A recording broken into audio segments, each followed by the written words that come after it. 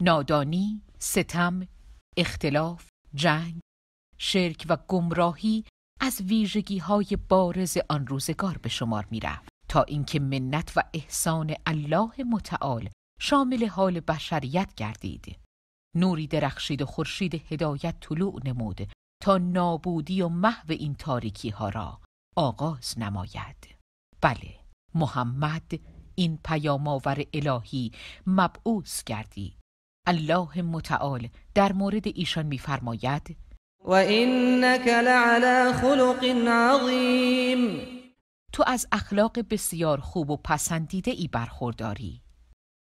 در این آیه بیان شده است که محمد صلی الله علیه و آله و سلم از ویژگی های اخلاقی والا و صفاتی بسیار پسندیده برخوردار است تا جایی که هیچ انسان دیگری به این اندازه از کمال نرسیده است.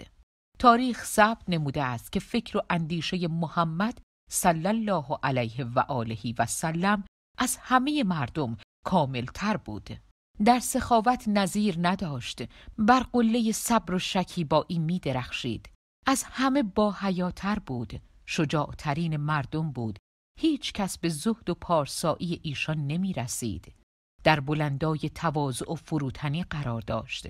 در کارهای خانه با خانوادهش همکاری می نمود. لباسهایش را پینه می‌زد، کارهای شخصیش را خودش انجام می‌داد.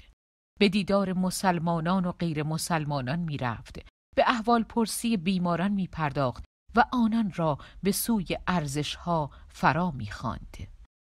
محمد صلی الله علیه و آله و سلم مردی راستگو دارای مبانی فکری محکم و استوار عادلترین انسانها و مهربانترین مردم در حق افراد ضعیف و ناتوان بود عدالت را در حق زنان و کودکان رعایت می نمود و رعفت و مهربانی وی شامل حال حیوانات نیز می گردید.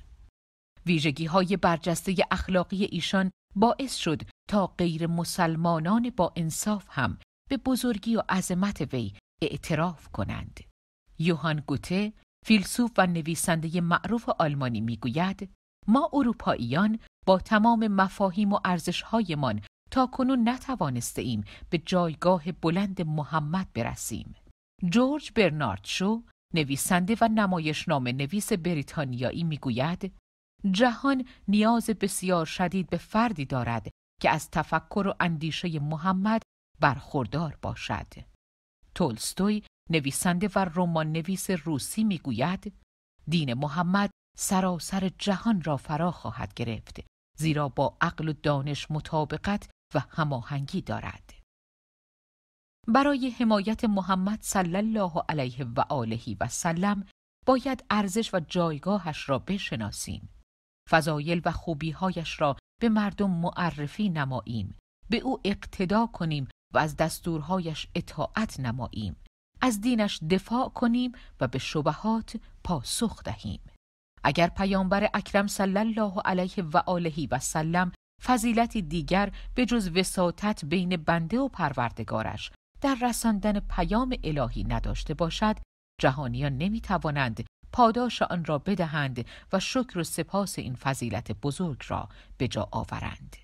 پیامبر اکرم صلی الله علیه و آله و سلم زندگیش را وقف دعوت امت به سوی ارزش ها نمود و به این هم اکتفا نکرد بلکه از پروردگارش درخواست نمود تا روز قیامت شفاعت وی را در مورد امتش قبول نماید و در همین زمینه فرمود هر پیامبر یک دعای مستجاب دارد و همه پیامبران در دعاهایشان شتاب کردند و در دنیا از این امتیاز استفاده نمودند. اما من دعایم را برای شفاعت امتم در روز قیامت ذخیره کردم. البته این شفاعت من شامل حال افرادی از امتم می شود که بدون شرک از دنیا بروند. و چه زیبا میفرماید الله متعال که وما ارسلناك الا رحمتا للعالمین ای پیامبر ما تو را فقط به عنوان رحمت برای جهانیان فرستاده ایم.